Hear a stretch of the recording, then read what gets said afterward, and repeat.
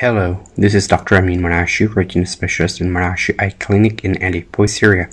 I am presenting the course of OCT for macular diseases.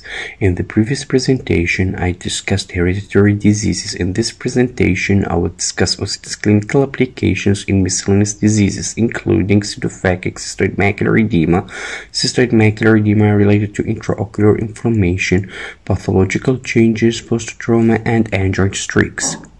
OCT is the gold standard to diagnose cystoid macular edema post-cataract surgery, which appears as increased macular thickness and intraretinal hyporeflective cystic changes with loss of foveal pit and with or without subretinal fluids.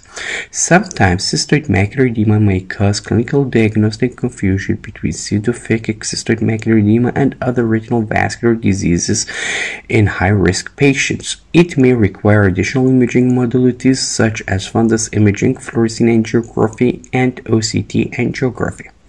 However, OCT can reveal unique structural changes that may help differentiate, such as increased reflectivity of intraretinal tissues and intraretinal hemorrhages that are the hallmark of macular edema related to retinal vein occlusion. In contrast, non-empty cystic changes and hard exudates may refer to diabetic macular edema along with a spongy-like appearance. OCT is very useful in revealing vitreomacular interface abnormalities, such as the presence of vitreomacular traction or epiretinal membrane with increased macular thickness and intraretinal cystic formation. Can be associated with cases of post-complicated cataract surgery with incarcerated vitreous strands at the wound or cases pre-existing vitreomacular interface abnormalities. However, the cases of pseudophakic cystoid macular edema associated with traction may indicate pars plana vitrectomy to relieve the traction. OCT is important in clinical practice to evaluate post-treatment efficacy, as in this example there is increased central macular thickness with intraretinal hyporeflective intraretinal cystic formation and loss of foveal pit. The next cross-section shows resolved macular edema and intraretinal cystic changes post-treatment with a suprachoroidal triamcinolone acetonide injection. In cystoid macular edema related to intraocular inflammation, it may show similar characteristics to uh, pseudophakic cystoid macular edema, such as increased macular thickness and intraretinal cystic changes with or without subretinal fluids. However, cystoid macular edema related to intraocular inflammation may be associated with increased reflective dots in the vitreous due to intravitreal inflammatory cells. Sometimes it can be combined with vitreomacular interface abnormalities such as epiretinal membrane. In intraocular inflammation cases associated with occlusive vasculitis, it may show increased reflectivity of the inner retinal tissues due to ischemic changes. OCT is essential to monitor the progression of macular changes related to intraocular inflammation, as in this case of cystic macular edema related to pars showing increased macular thickness with intraretinal cystic formation. Please note the reduced quality of the OCT scan due to vitritis. The next cross-section shows post-treatment with a suprachoroidal injection of triamcinolone acetonide, resolution of edema, and intravitreal inflammatory cells clearance. On the other hand, this is a case of Behçet disease showing vitreomacular abnormalities with active inflammation and was treated systematically without any ocular intervention. Within one month, the tangential traction progressed, causing a full-thickness macular hole with intraretinal cystic changes.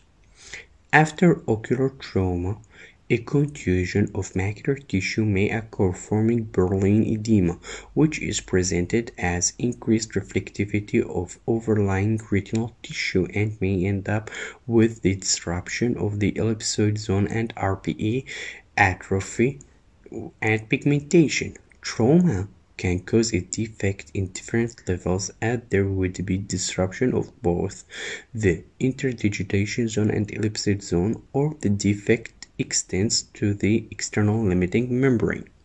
Solar retinopathy can be presented with a focal disruption in the ellipsoid zone and outer retinal tissues, with intact other retinal tissues without any changes in retinal contours.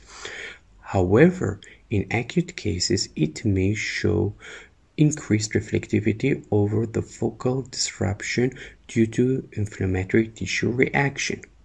Choroidal rupture may show choriocapillaris RPE protrusion in pyramid shape causing discontinuity of RPE. Some choroidal rupture cases may be presented with concave contours with a wide area of external limiting membrane, ellipsoid zone, and RPE Bruch's membrane loss. In acute cases, this protrusion may combine with subretinal blood which appears as subretinal hyperreflective fluids with smooth borders. Some choroidal rupture cases got complicated with subretinal choroidal neovascularization, which may be presented with subretinal fluids and subretinal hyperreflective mass. As in this case, there is a choroidal rupture in the form of RPE protrusion in the pyramid shape, causing discontinuity of RPE, and subretinal hyperreflective mass presenting subretinal choroidal neovascularization with subretinal fluids and blood and intraretinal cystic changes. OCT is very useful in assessing a traumatic macular hole, which will show a full thickness macular defect with or without intraretinal cystic changes and elevated edges. OCT can accurately measure traumatic hole size, as smaller hole size have a better chance for spontaneous closure, as in this case of an 18 years old boy presented with a traumatic macular hole and within six months of follow-up there was a spontaneous closure of the hole.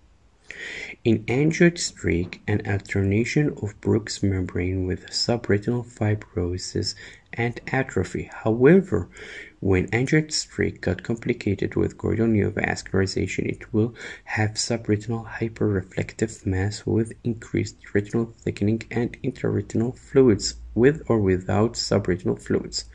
This cross-section for the same case post-treatment with intravitreal injection of VEGF blockade agents showing resolved cystic changes and macular edema with subretinal fibrosis. By this, I conclude the course of OCT clinical applications for macular diseases where I tried my best to scratch the surface of OCT findings and applications in a nutshell. I hope you find this information useful in your daily clinical practice. I hope to see you soon in my next courses. Thank you for listening.